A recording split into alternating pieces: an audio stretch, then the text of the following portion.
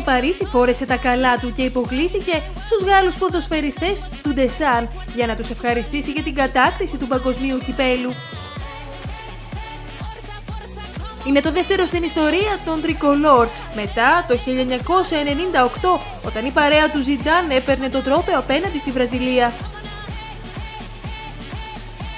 Εκατομμύρια Γάλλοι ξεχύθηκαν για να αποθεώσουν τους παίκτες του αντιπροσωπευτικού συγκροτήματος της χώρας.